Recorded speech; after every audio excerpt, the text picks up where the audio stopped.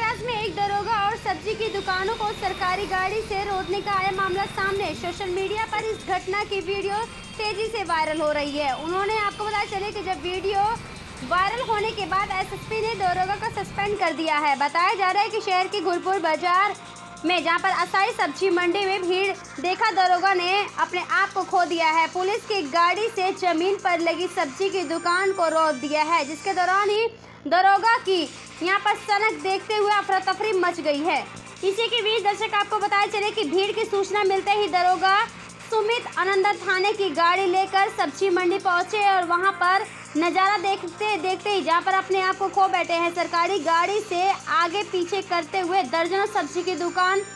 को दरोगा ने शुरू कर दिया है रोदना। में अभी मौके पर जाँच कराई गई और क्षेत्राधिकारी द्वारा जाँच की गई, जिसमें बात निकल के आई है कि दरोगा जी द्वारा जो सुमित आनंद है, उनके द्वारा लापरवाही की गई है। लापरवाही करने के दौरान चूँकि ये मंडी जो है, बुधवार और शुक्रवार को लगना तय था तो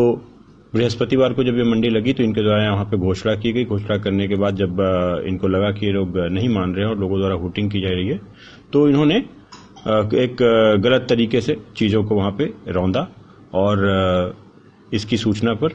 जब हमें सोशल मीडिया के माध्यम से सूचना प्राप्त हुई है, उसके बाद इनके ऊपर निलंबन की कार्रवाई की गई है, तथा वहाँ मौजूद जो किसान हैं, जिनकी सब्जियों का नुकसान हुआ है, उनसे हमारे क्षेत्राधिकारी ने बात करके और उनके जो नुकसान के मूल्यांकन उन्होंने किए हैं, उसके अनुरूप उन्हें समायोजित किया गया है आर्थिक रूप से और विभागीय कार्रवाई इसमें की जा रही है, तथा यह संस्तुति भी की जा रही है कि इनको जनपदीय शाखा में न रखा जाए और अजनपदीय शाखा में इनको भेजा जाए और इनके वेतन से रिकवरी के लिए भी लिखा जा रहा है। कितने किसान को सर मुआवजा दिया गया है? अभी अभी तकरीबन 11 किसानों को मुआवजा दिया गया है और शेष लोगों को चिन्हित किया जा रहा है जिनके नुकसान हुए हैं और उनके मुआवजे उनको प्रदान किए जाएँगे। ठीक थैंक यू लेटेस्ट न्यूज़ देखने के लिए प्राइम ब्रेकिंग न्यूज़ चैनल को सब्सक्राइब करना न भूले और साथ ही डेली अपडेट पाने के लिए बेलाइकन को